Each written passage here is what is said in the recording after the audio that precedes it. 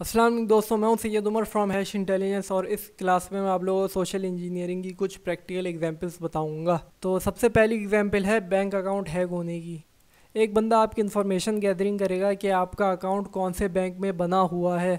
उसके बाद वो आपका नंबर भी कहीं से निकालेगा और फिर वो आपको कॉल करेगा कि मैं इस बैंक से बात कर रहा हूँ, आपका नाम ये है, आपके वालिद का नाम ये है। हमारे डेटाबेस में कुछ मसला हो गया है। आप क्या अपनी इन्फॉर्मेशन हमें बता सकते हैं ताकि हम उसे दोबारा रिस्टोर करें और आपका अकाउंट एक्टिव कर सकें? फिर वो आपसे कुछ डिटेल पूछेगा, वो इतने प्रोफेशनल वे में आपसे बात करेगा कि आपको शक भी नहीं होगा। और फिर अगर आप बेवकूफ़ होंगे तो आपका बैंक अकाउंट कॉम्प्रोमाइज़ हो जाएगा। अच्छा एक और एग्ज़ाम्पल के हैकर ने पता किया कि आप किसी बाहर ममालिक में रहते हैं। आप यूएसए में रहते हैं या आप सऊदी अरब या दुबई वगैरह में रहते हैं। और आपके घर वाले यहाँ पाकिस्तान में रहते हैं तो वो बेसिकली करेगा क्या कि वो आपके तमाम घर वालों की इन्फॉर्मेशन गैदर करेगा। वो ये पता लगाएगा कि घर में जो बच्चे हैं वो स्कूल किस टाइम जाते हैं और घर में जो मर्द हैं वो ऑफ़िस किस टाइम जाते हैं और घर की औरतें किस टाइम घर पे रहती हैं। तो बेसिकली औरतों को टारगेट करेगा वो सबसे पहले। औरतों को क्यों? क्योंकि औरतें इमोशनली ज़्यादा वीक होती हैं मर्दों के मुकाबले में। तो वो आपकी वालदा को कॉल करेगा बिल्कुल आपके नंबर से। अच्छा अब आपको ये बात समझ नहीं आ रही होगी कि वो आपके नंबर से किस तरीके से कॉल करेगा। इसको हम कहते हैं कॉलर आईडी स्पूफिंग। ये एक ऐसी टेक्निक होती है जिससे आप किसी और का नंबर अपना नंबर बना के कॉल कर सकते हैं। तो जब उसकी अम्मी के पास कॉल आएगी, उसके बेटे के नंबर से और वो आप बेटा बात नहीं कर रहा होगा, बल्कि हैकर बात कर रहा होगा, वो भी वॉइस चेंजर के ज़रिए। वो वॉइस चेंज करके आपके बेटे जैसी आवाज़ बना लेगा। या तो वो किसी वॉइस ओवर स्पेशलिस्ट को अपने साथ रखेगा जो हर किसी की आवाज़ निकाल सकता है या तो वो इस काम के लिए किसी सॉफ्टवेयर का इस्तेमाल करेगा और वो बिल्कुल अब आपके बेटे की आवाज़ में बात करेगा और फिर उनसे कहेगा कि, अम्मी, मुझे पाँच लाख रुपए चाहिए, वरना वो लोग मुझे जान से मार देंगे। इस तरीके की कोई बात करेगा और फिर अम्मी कहेगी, नहीं बेटा, तुम्हें पाँच लाख चाहिए, मैं तुम्हें दस लाख दूँगी। ठीक है, और फिर वो एक अकाउंट नंबर देगा, उस अकाउंट नंबर पे उनकी वालदा सारे पैसे जमा करा देंगी। अच्छा वो उसको बहुत तेज़ करने को कहेगा कि, अम्मी, बस फ़ौर फ़ौर इसी वक्त, ताकि घर के में मर्द आने से पहले ये सारी कार्रवाई हो जाए। अच्छा वो साथ में ये भी कहेगा कि, किसी को भी नहीं बताना ये बात। अगर आप किसी को भी बताएँगी तो ये लोग मुझे जान से मार देंगे। वो सिर्फ़ इस वजह से करेगा ताकि आप ये बात किसी को भी नहीं बताएँ और आप अपनी बेवकूफ़ी अपने हद तक रखें। ताकि कोई बंदा आपको ये बात समझा ना सके कि ये बस सोशल इंजीनियरिंग है, ऐसा कुछ भी नहीं है। लेकिन औरतें बहुत ज़्यादा इमोशनल होती हैं और इसका कोई भी फ़ायदा उठा सकता है। अच्छा एक और सोशल इंजीनियरिंग अटैक है जो आपके साथ हो सकता है, वो है रिमोट एसेस स्कैम इसमें होता क्या है कि आपको कंपनी के सर्विस प्रोवाइडर जैसे आप विंडोज़ इस्तेमाल कर रहे हैं तो विंडोज़ वाला बन के कॉल करेगा कि आपकी विंडोज़ में एक मसला आ गया है हमें आपकी विंडोज़ पे रिमोट एक्सेस चाहिए, फिर वो आपको दो तीन तरीक़े बताएगा, फिर वो आप आप वो करेंगे तो उसके ज़रिए से आप, उसको रिमोट एक्सेस मिल जाएगा आपके कंप्यूटर में और फिर वो आपके सिस्टम में घुस के कुछ भी कर सकता है। अब आपको ऐसा लग रहा होगा कि इसमें कौन आता है तो इसमें भी कई सारे लोग आ जाते हैं। वो समझते हैं कि हाँ अभी हमने ये जो सर्विस ली है, जैसे विंडोज़ एप्पल या कुछ और लिया है तो इनकी कंपनी की तरफ़ से हमें ये कॉल आ रही है और वो हमारी कुछ मदद करना चाहते हैं। वैसे बुरा ना माने तो ये 80 परसेंट इंडियंस होते हैं जो ये काम करते हैं। तो इस टाइप के स्कैम से हमें अपनी बहुत ज़्यादा हिफाजत करनी चाहिए।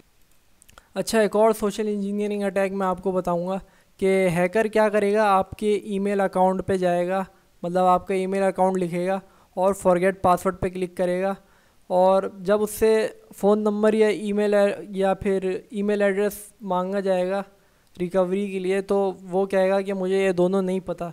जब वो जब वो ये दोनों बताने में नाकाम हो जाएगा तो फिर एक ऑप्शन आता है कि कोई भी सिक्योरिटी क्वेश्चन आपसे जो अकाउंट बनाते वक्त पूछा गया था, वो उसके सामने आते हैं।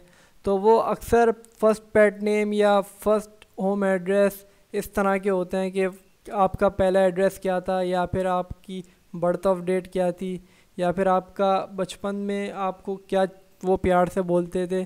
फिर वो जो बेसिक सा क्वेश्चन होगा, उसका आंसर वो आपसे किसी ना किसी तरीके से बात करते करते निकलवा लेगा। फिर वो सिक्योरिटी क्वेश्चन का आंसर लिखेगा और इसके नतीजे में आपका अकाउंट कॉम्प्रोमाइज़ हो जाएगा।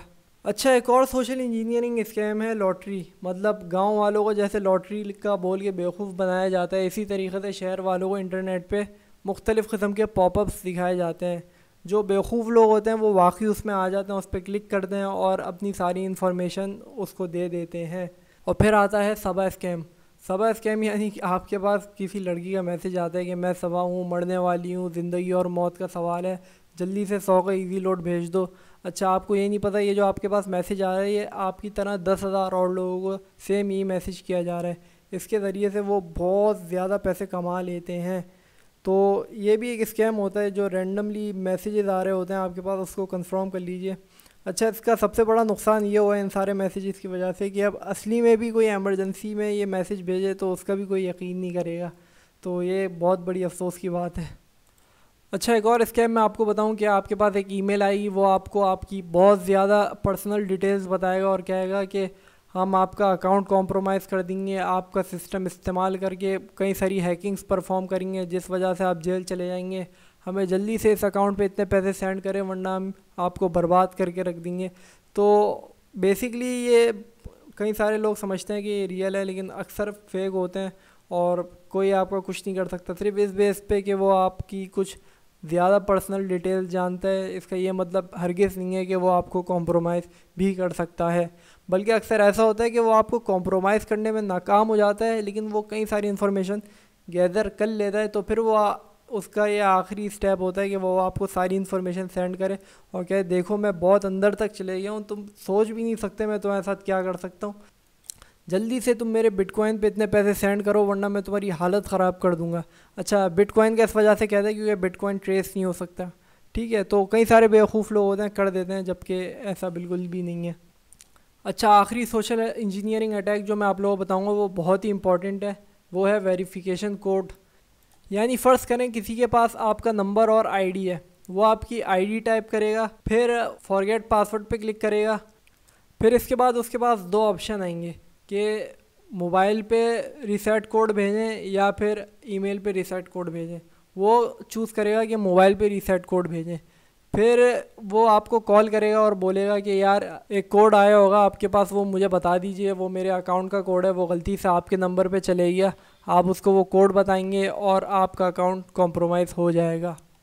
अच्छा इसी तरीके से व्हाट्सएप में भी यही होता है कि कोई बंदा व्हाट्सएप का अकाउंट बनाए और आपका नंबर डाले फिर वेरिफिकेशन कोड जब आपके नंबर पे आएगा तो वो आपको कॉल करेगा और आपसे बोलेगा कि तुम्हारे पास एक कोड आया होगा वो मुझे बता दो। ऐसा मेरे भाई के साथ एक दफ़ा हुआ था। चले मैं आपको वीडियो दिखाता हूँ। हेलो हाँ, जी मेरे भाई।